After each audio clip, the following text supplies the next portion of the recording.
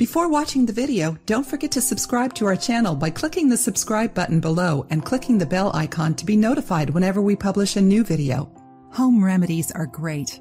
Using natural ingredients that can heal our bodies the right way over time, rather than causing chemical dependencies or other significant health issues, is always preferable. Fruits, vegetables, herbs, and oils can make us feel much better and many times without unwanted side effects of pharmaceuticals. One great example of this is apple cider vinegar. It's used to combat acid reflux, lower cholesterol and blood sugar, suppress the appetite, and even does wonders for the skin. Raw, unfiltered apple cider vinegar should contain the mother, a mixture of beneficial bacteria that many believe is what actually gives this fermented liquid its kick. This popular multifaceted remedy is made by crushing apples, extracting the juice, and adding bacteria and yeast to move along the fermentation process. It's high in potassium and iron as well as two important acids, folic and acetic. However, it's not the end all be all of home remedies. In fact, depending on your personal physical condition, apple cider vinegar might actually be more detrimental than beneficial. Be careful using this home remedy if you meet these qualifications. Pregnant or nursing mother.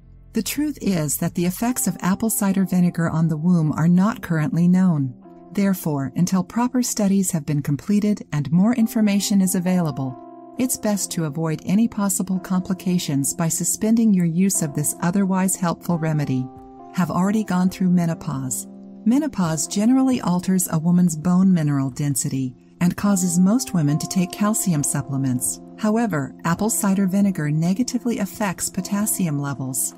That leads to even further concerns about the overall bone health. Again, it's better to avoid ACV if you've gone through this major change in your life. Suffer from diabetes.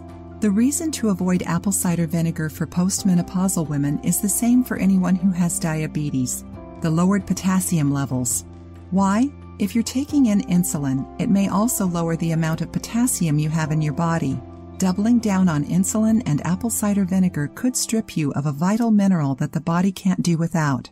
Speak to your doctor before deciding to take apple cider vinegar as a supplement. Take certain medications.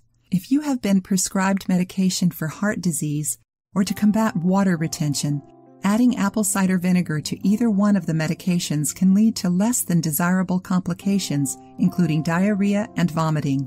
As has been well noted here, potassium levels change significantly with the use of apple cider vinegar. Mixing it with diuretics could lead to dehydration. None of these complications justify the benefits that go along with taking ACV. If you liked the video, give it a thumbs up and share it with your friends. For more recipes and tips, subscribe to the channel.